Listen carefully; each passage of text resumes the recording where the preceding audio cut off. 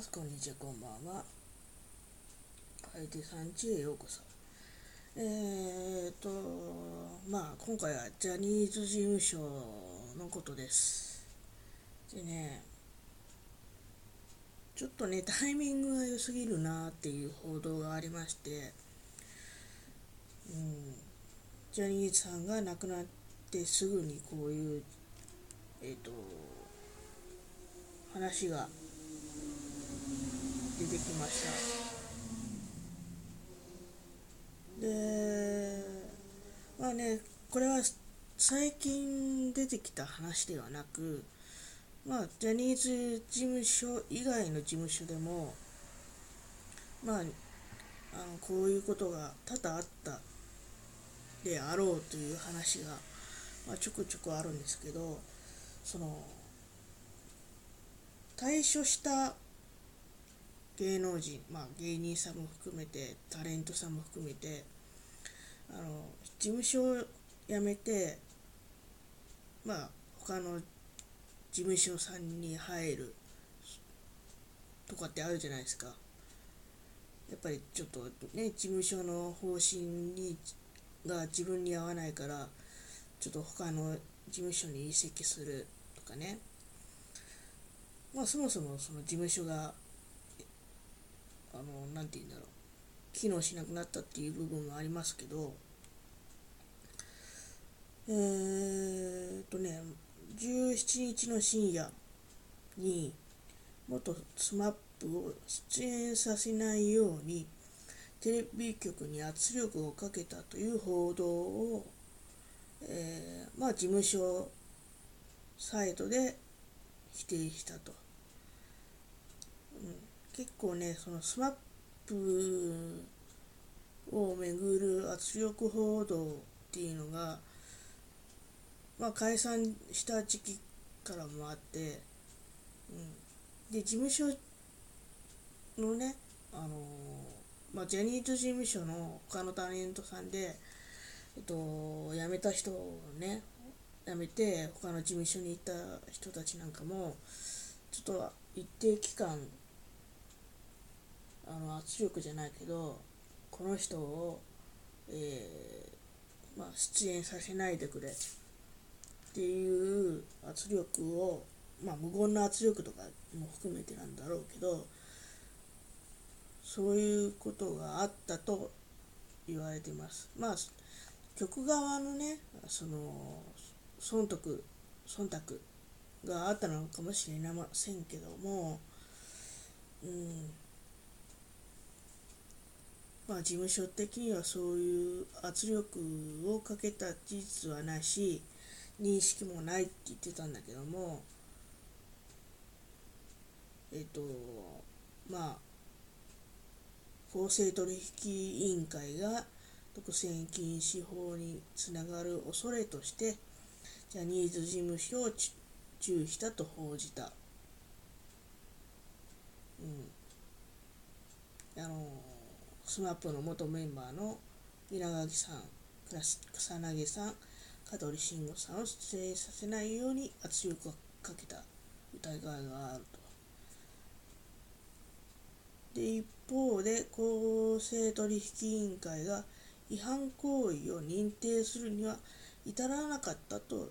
報じた社もあった。うんで、えっと、まあ、事務所は、えっと、7月17日の報道に対するご報告として、えっと、弊社、まあ、ジャニーズ事務所が公正取引委員会により独占禁止法につながる恐れがあるとして注意をされたこあの注意を受けたこと受けたとされる報道について、えー、ご報告を申し上げますと。まあねえっ、ー、と、事務所としては、えー、テレビ局に圧力をかけた事実はなく、公正取引委員会からも独占禁止違反行為があったとして、行政処分や警告を受けたものでもありません。とはいえ、このような、えー、当局の調査を調査を受けたことは重く受け止め、今後今後は誤解を受けることがないように留意したいと思いますと。注意してあの活動をしていくっていうことはあの表明されています。うんだよね。多分多分似たようなことを多分するんだろうね。と思うよ。ねえ。結構きつい。本当に徹底的にこの3人をテレビテレビというかまあアウェーバーとか LINE とかの LINE ライブみたいなのはネット中心では出ているけども地上波では出ないよね。本当にナレーションとかちょっとしたその CM とかぐらいしか出なくてうん。注意だけじゃダメでしょもっと強いさことを言ってくれないとなっていうふうにまああのまあ彼らのファンではないけど好意的に思っている人はもっと強く言ってほしかったなって思う人は多いんじゃないかなと思います。あとね、まあ、事務所ジャニーズ事務所としてはテレビ局に圧力かけたっていうのもあるんだけどその移籍した事務所の方にも圧力をかけたんじゃないかなって思うんだよね。そのあの新しい地図以外のところね。その諸星克美だったりとか大沢みきおみたいな他の、まあ、事務所に行った人まあ何人かいらっしゃるよね。修学隊のあの3人も含めて。でえー、まあその、まあ、一時期1年か2年か分かんないけどまあ見なくなった時期があって。でまあねその芸能界としては何ヶ月かとか1年は表舞台には出てでは出てはいけないみたいなさ。まあ暗黙のルールみたいのがあるけどもっていう感じだよね。うん。だからタイミングとしてはそのジャニーさんが亡くなったことでうん。あのーなんだろう。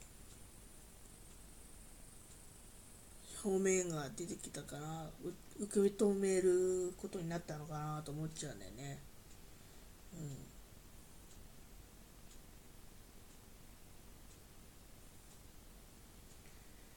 でなんだっけ。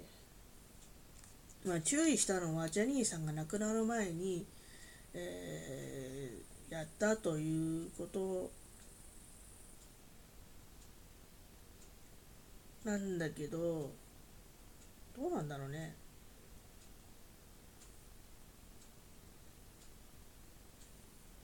うん。まあジジャニーさんとしてはそのなんだろう SMAP の3人が、まあ、他の事務所なりにいたとしても彼らの仕事を妨げてはいけないっていう思いもあってあの他の事務所にいても彼らのことを思っていますし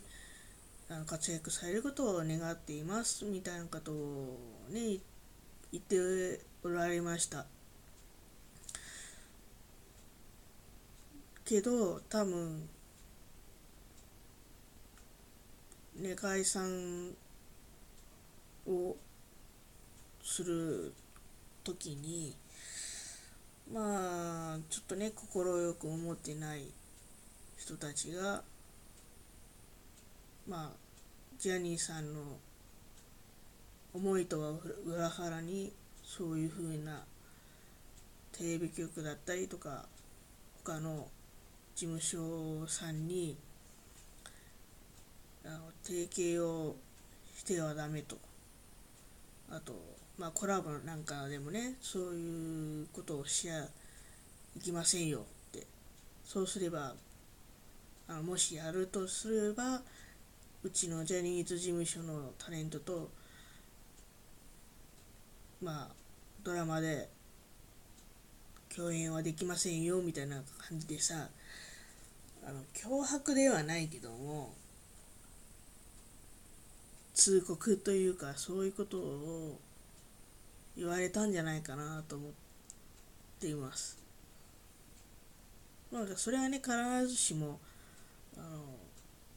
そうとは限らないだろうけど忖度ねあの関係なく我々は彼らを応援しますっていう人もいらっしゃるからうんだからあのそのアメーバとかのその芸能人がねいろいろ来ていただいていましたよね。うん、そのキャインとか他にまあ関根さんとかも、まあ、そういうの関係なく来ていましたね。だから、うん、注意だけでいいのかなって思っちゃったりします、警告でもいいんじゃないかなと思っているんだけどねまあファンとしてはそう警告でもいいんじゃねって思っている人がいるんじゃないでしょうか。ね、皆さんどう思うでしょうか。圧力にね、あの、屈しないでいただきたいと思いますね。それでは、皆さん、さようなら。